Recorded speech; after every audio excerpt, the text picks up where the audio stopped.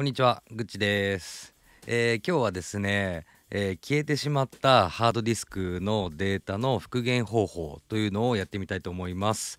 SD カードのデータだったり、ハードディスクのデータ、パソコンの中に入ってるデータですね、えーそれを間違えて削除してしまった、えーフォーマットかけてしまったっていうのをやったことありますか、えー実は僕も何回もあります。えーそのね、えーと間違って消してしまったデータっていうのをパソコンで、えー復元するソフトというのを今日は紹介したいと思います。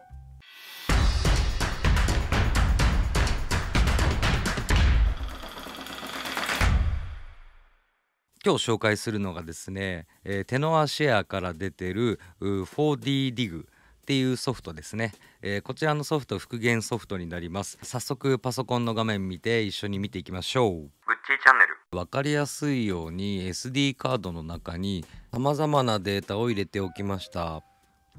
で全部この中に入ってるデータをゴミ箱に入れちゃいます。でゴミ箱に入っている状態なんですけれどもそのゴミ箱も、えー消しちゃいましょう。はい消えました。で今日はねテストなので SD カードを使って復元ができるかというのをやってみたいと思います。じゃあまずねこの外付け HDD ですね。ここの SD カードのところにチェックマークをつけます。で、えーっとここのスキャンを押します。スキャンが完了したようなので、えーこのまま OK ボタンを押してみます。ソフトの方を見るとこちらにねツリー表示とフォルダーっていう風に書いてありますね。こちらのフォルダーっていう方を見てみます。そうすると全てのファイル109って出てますね、えー写真ビデオドキュメント拡張しなしその他。でツリーの方にもこういう風に出てますね。全部復元したいので全てのファイルっていうのを押します。で復元。で、えー、とどこに、えーその復元したファイルをお保存したいかっていうふうに聞かれてますのでじゃあデスクトップにしましょう。デスクトップを押して、えー開く。で今復元中ですね、えー復元完了と出ました。グッチーチャンネル。保存先を開くと出てますのでこちらをボタンを押してみたいと思います。このフォルダですね。ノーネームって書いてあってで一番上に、えーこちら見てみるとさっえーとね、消したはずのデータが元に戻ってますね。これが DNG ですね。JPEG、MP4。で、これが PSD、Photoshop ですね。で、MOV ですね。これは、えー開けないのかな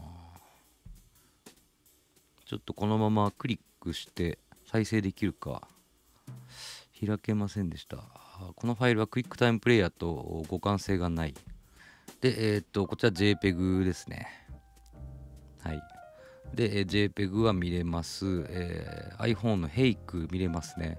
JPEG、IMG0428 もう同じのが上にね。なんか同じファイルが2個表示されますね。でこれもちょっと0428をクリッククしてみてファイルが壊れているかプレビューが認識しないフォーマットを使用している可能性があります。JPEG 見れますね。でこれも JPEG が見れると。CR2 お CR2 見れますね。PDF 見えますね。モーションアレイのね。でえーっとはいかわい。い PNG 見れます。ARW どうだろう。おこれはえーっと香港に行った時の写真 ARW は見れましたね。一部のファイルがもしかしたら壊れて見れないものも中にはあるっぽい感じしますね。グッチーチャンネル。次はあー MacBook 上でフォーマットをかけて、えーそれが復元できるかっていうのをやってみたいと思います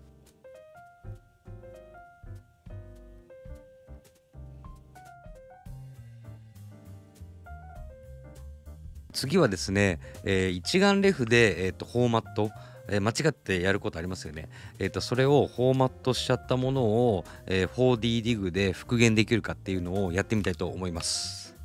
で、こちらで、えースロット1フォーマットをかけてみます。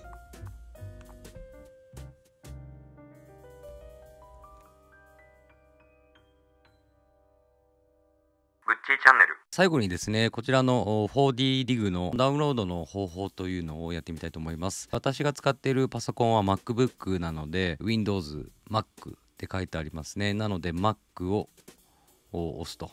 でそうするとこちらで無料版のねダウンロードが始まります。今すぐ購入というところをクリック。月間更新ライセンス年間更新ライセンス永久ライセンスと、えーありますね、えー毎月払うのと1年ずつ払うのとでもう1回か、えー買えばもうお金を払わなくていいものですね。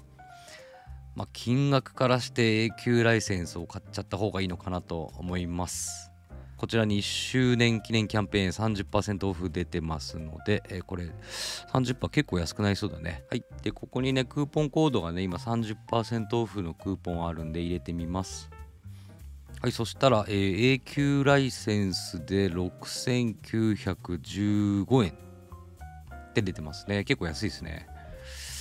千葉県じゃないのに千葉県って出てますけども気にせず。永久ライセンス6915円だったらねこれ買っちゃっても全然いいかもしれないですね。グッチーチャンネル。